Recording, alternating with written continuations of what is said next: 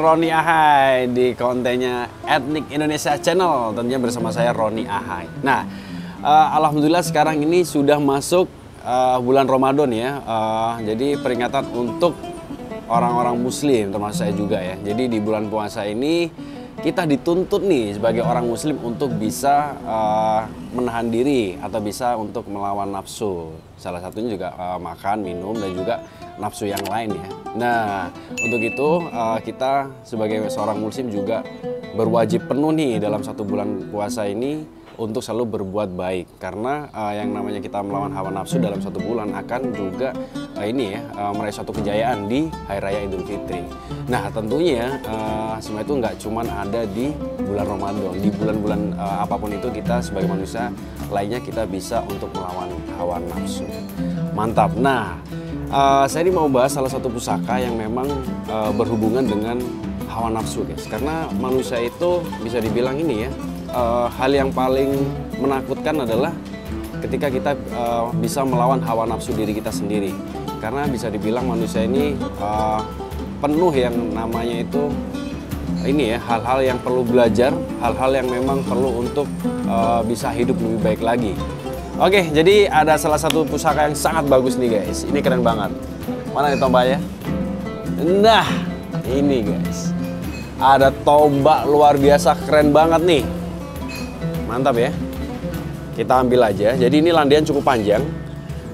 Kita taruh aja par. Oke. Nah ini guys. Ini ada tombak. Luar biasa bagus dengan adanya corak kinata di bagian bawah di bagian tengah ya. Nih. Bagus banget. Jadi nama tombak ini masuk tombak biring. Nah tombak biring ini uh, setahu saya ada tiga ya yang sering uh, yang pernah saya jumpain. Ada tombak biring lanang Terus ada tombak biring wadon. Biring wadon biasanya itu ada tinggi di bagian bawah sini guys. Itu tombak biring wadon. Nah ada lagi biring cumben. Biring cumben biasanya ada sogon di bagian tengah. Nah kalau ini masuk tombak biring lanang. Uh, tombak ini milik Kinata ya, jadi bisa dibilang uh, orang tertentu nih yang bawa pusaka-pusaka seperti ini biasanya kalau kita lihat tombak biring itu memang uh, sering umum ya kita lihat. Karena memang tombak yang ada di garda terdepan guys. Bisa jadi memang uh, merupakan salah satu senjata ya yang memang sering dibawa ke mana-mana. Itu ada tombak biring. Makanya kenapa sering kita jumpai. Nah kalau ini menarik nih. Karena memang uh, ada unsur kinatah di dalam pusakanya itu.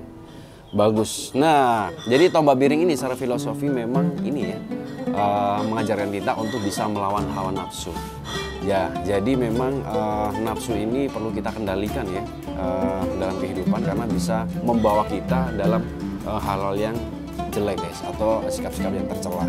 Jadi guys, pada zaman dahulu tombak biring lanang atau biring lah jaler merupakan senjata para panglima dan senopati perang Perbawa dari tuah tombak ini akan membuat nyali musuh ciut seperti kehilangan kejantanannya ketika berhadapan dengan orang yang membawa tombak ini sehingga dengan mudah bisa dikalahkan dalam pertempuran. Filosofi tombak biring lanang nih sebagai sebuah pusaka, nama tombak biring lanang juga memiliki mana filosofi yang merupakan sebuah pesan agar sebagai manusia hendaknya kita bisa meredam dan mengendalikan syahwat atau hawa nafsu kita yang disimbolkan dengan mengebiri kemaluan, karena manusia yang sejati adalah manusia yang mampu mengebiri atau menghilangkan hawa nafsu keduniawian untuk dapat mencapai kesejatian.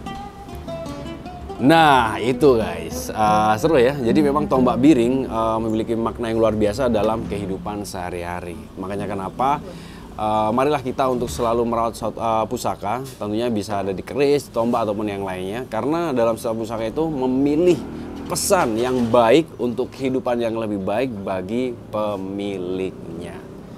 Luar biasa nih, tombak biring. Jadi memang uh, masih berkesinambungan dengan ini ya, bulan Ramadan ya, yang juga kita dituntut untuk melawan hawa nafsu. Di tombak pada zaman dahulu sudah memiliki pesan bahwa kita juga uh, patuhnya untuk melawan hawa nafsu. Mantap guys. Oke, jadi itu ya, uh, kita bahas masalah filosofi dari tombak biring yang berhubungan dengan bulan Ramadan. Bisa tulis di kolom komentar nih untuk Roni Ahai mau uh, bahas apa bisa tulis di kolom komentar kita. Mantap, oke kita lanjut ke video selanjutnya.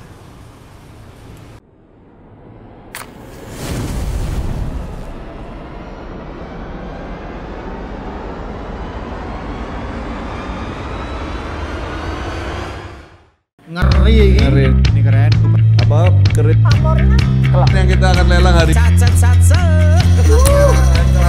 Gojo merenges Rangkanya warangas Kala Makara juga Saksikan live streaming Etik Indonesia Channel setiap hari Selasa sampai Minggu pukul 13.00 sampai 23.00 waktu Indonesia Barat. Salam budaya. Salam budaya